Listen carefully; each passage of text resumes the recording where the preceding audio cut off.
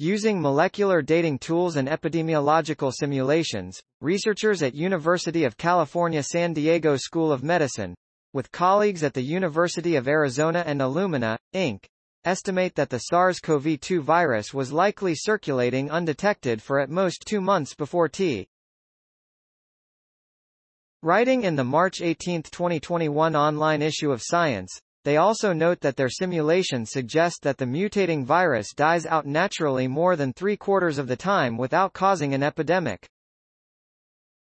Our study was designed to answer the question of how long could SARS-CoV-2 have circulated in China before it was discovered, said senior author Joel O. Wertheim, Ph.D., Associate Professor in the Division of Infectious Diseases and Global Public Health at UC San Diego School of Medicine. To answer this question, we combined three important pieces of information. A detailed understanding of how SARS-CoV-2 spread in Wuhan before the lockdown, the genetic diversity of the virus in China and reports of the earliest cases of COVID-19 in China. By combining these disparate lines of evidence, we were able to put an upper limit of mid-October 2019 for when SARS-CoV-2 started circulating in Hubei province. Cases of COVID-19 were first reported in late December 2019 in Wuhan, located in the Hubei province of central China. The virus quickly spread beyond Hubei. Chinese authorities cordoned off the region and implemented mitigation measures nationwide.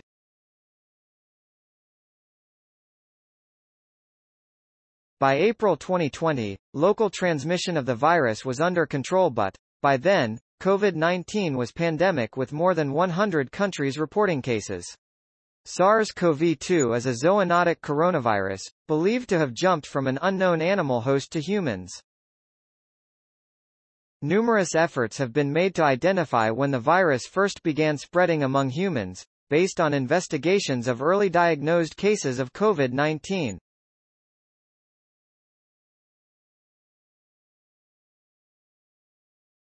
The first cluster of cases, and the earliest sequenced SARS-CoV-2 genomes, were associated with the Huanan seafood wholesale market, but study authors say the market cluster is unlikely to have marked the beginning of the pandemic because the earliest documented COVID-19 cases had no connectio. Regional newspaper reports suggest COVID-19 diagnoses in Hubei date back to at least November 17, 2019, suggesting the virus was already actively circulating when Chinese authorities enacted public health measures. In the new study, researchers used molecular clock evolutionary analyses to try to home in on when the first, or index, case of SARS-CoV-2 occurred. Molecular clock, is a term for a technique that uses the mutation rate of genes to deduce when two or more life forms diverged, in this case, when the common ancestor of all variants of SARS-CoV-2 existed, estimated in this study to as early as mid-November 2019.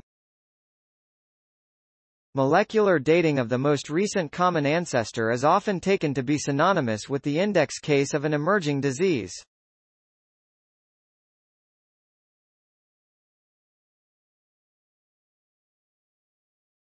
However, said co-author Michael Worobey, Ph.D., professor of ecology and evolutionary biology at University of Arizona, the index case can conceivably predate the common ancestor. The actual first case of this outbreak may have occurred days, weeks or even many months before the estimated common.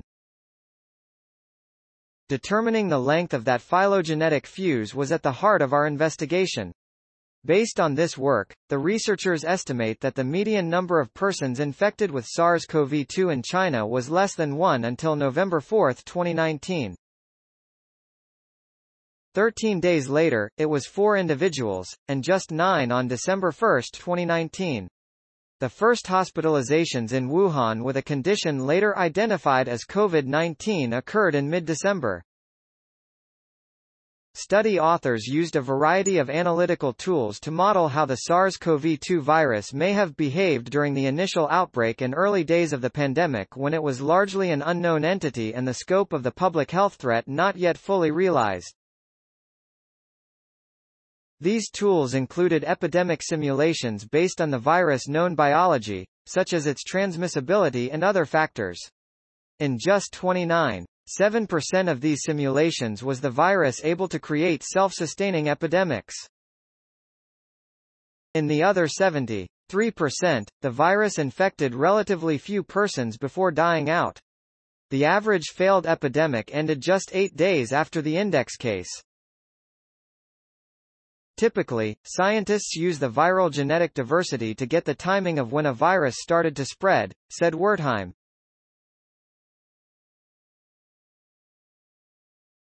Our study added a crucial layer on top of this approach by modeling how long the virus could have circulated before giving rise to the observed genetic diversity.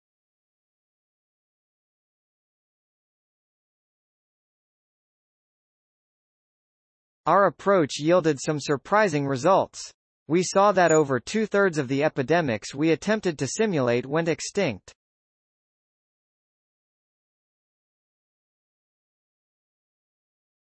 That means that if we could go back in time and repeat 2019 100 times, two out of three times, COVID-19 would have fizzled out on its own without igniting a pandemic.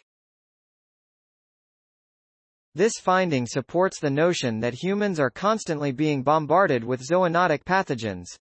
Wertheim noted that even as SARS-CoV-2 was circulating in China in the fall of 2019, the researcher's model suggests it was doing so at low levels until at least December of that year.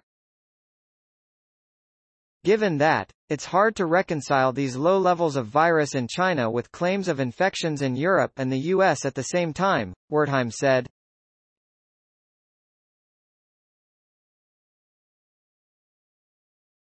I am quite skeptical of claims of COVID-19 outside China at that time. The original strain of SARS-CoV-2 became epidemic, the authors write, because it was widely dispersed, which favors persistence, and because it thrived in urban areas where transmission was easier.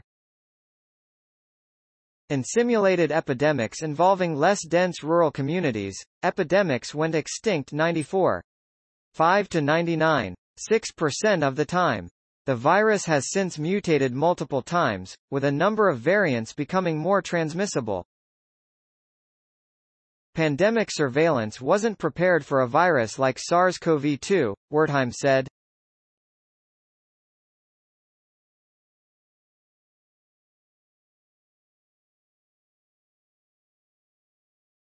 We were looking for the next SARS or MERS, something that killed people at a high rate, but in hindsight, we see how a highly transmissible virus with a modest mortality rate can also lay the world low.